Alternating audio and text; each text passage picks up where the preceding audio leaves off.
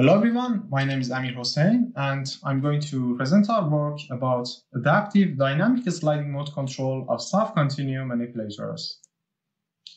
So today we can design and build soft robotic arms that can deform continuously like an elephant's trunk to provide a wide range of motions. And the goal of this work here is to figure out how we can control these robots as effectively as possible. So let's say we have our soft continuum arm, and here we want to control it with a model-based control strategy. If we assume we have a precise model of the robot, we can in fact design typical fixed gain controllers so that the arm can track desired trajectories. However, it's usually difficult to develop a model that describes the motion precisely in all the operating conditions. So what usually happens is we end up with an inaccurate model that leads to poor closed-loop tracking performance.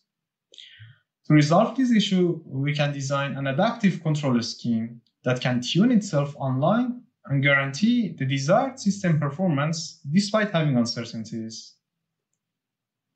So let's first talk about the modeling of the robot. Our kinematic model assumes constant curvature per segment. This allows us to approximate the motion of the arm using a piecewise constant curvature model. To obtain the dynamic model, use the Euler-Lagrange formulation. Here you can see the equations of motion in Lagrangian form where the damping, elastic, and disturbance terms are also considered. For our model, we assume that every segment has a mass point at geometric centroids, this is unlike some simplified models that lump a mass at the tip of each segment. As you can see from the plots that show the end effector trajectories and the tracking errors, our model response is pretty close to the experimental results as opposed to simplified models that have a mass at the tip of each segment. And besides being more accurate, our model is also highly efficient.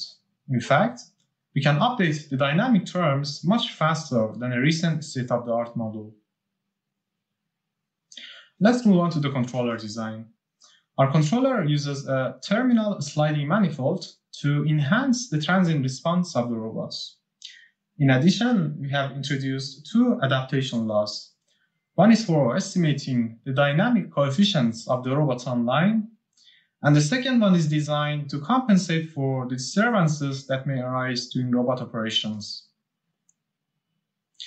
We have validated our approach using experiments with a physical soft robotic arm.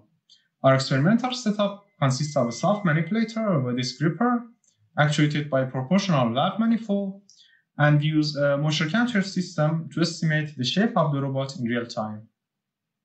Here are the results for an inverse dynamics control, which we used as a benchmark. For our experiments, we have considered different task space trajectories. The benchmark controller, as you can see, has poor tracking performance and it oscillates a lot when it's dealing with payload masses. The same experiments were also done with our adaptive controller. Unlike the benchmark controller, the robot is able to track the desired trajectories pretty well, and the tracking performance is maintained even when we added an unknown payload mass at the end effector. In conclusion, we have developed a robust adaptive control strategy and implemented it on a physical soft robotic arm. Our controller enables soft manipulators to be used in practical applications, such as pick and place tasks involving unknown mass objects.